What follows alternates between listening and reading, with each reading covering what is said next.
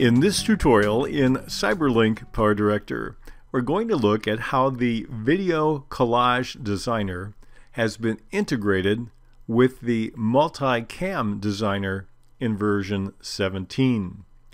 Before, they were separate tools, but now they work together. Let me show you how. We often might assume that in order to begin this process, we start out in the Video Collage Designer, which you can get to by clicking on the puzzle piece or the top menu that says Plugins and clicking on the submenu Video Collage Designer.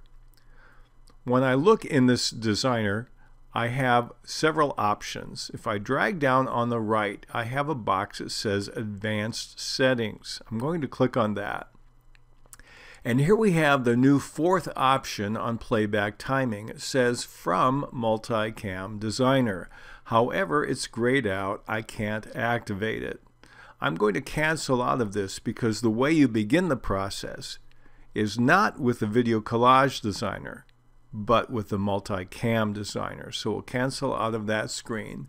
We'll go back to our Plugins menu, and then we'll choose our Multicam Designer. Here we have a screen that's very similar to what we saw in version 16. I'm going to take both clips shot at the same time of the same subject and put one in camera 1 track and one in camera 2 track. I will import it from the media room.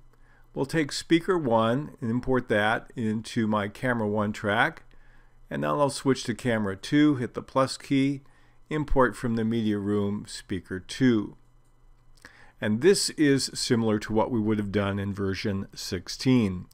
We'll have a separate tutorial, by the way, showing you how to operate the Multicam Designer in version 17. What I need to do before I go to the video collage with these two clips is I need to synchronize them. I'm going to use the audio analysis right now and simply click on apply. Again, we'll deal with that separately in a different tutorial.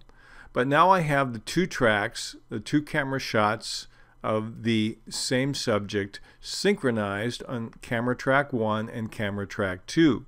What's new in version 17 is I'm not going to produce this as a single video, which was my only option in the previous version. Now I have this button that says Video Collage.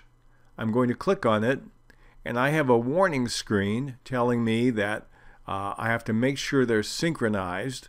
I'm, I'm going to click on Do Not Show Again uh, so I don't have this pop up every time. You can leave it on or off. And then I will say Yes to continue.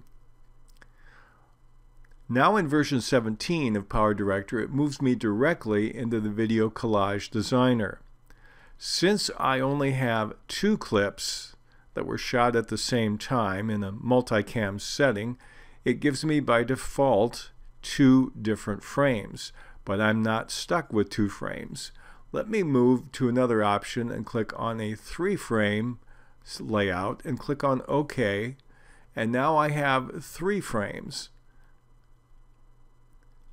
I can move the speaker who's now in frame number 2 at the top drag it down and swap with frame number 3 and then I can take something else, either a still picture or a different video, and drop that into track number two at the top, adjust it any way I want. And now I can have a combination of multicam, the same speaker from two different angles, and as many other frames as I want, up to seven. And so if I play this in the preview screen, we'll see the animation come in since I didn't turn it off and then I have the same speaker from two different angles and I have my still shot which could just as easily be a video clip. When I'm done I'm going to click on the OK and Power Director 17 will take that video collage that I've just designed and drop it back into my track on my main timeline and here we see it moving in the previous screen in the upper right. The other thing you can do is if you're not satisfied with it, you can highlight it. Click back on the video collage button above the timeline. It will take you back into the collage designer and you can make some more edits there. But that's how the integration works between the video collage designer and the multicam designer in CyberLink PowerDirector version 17.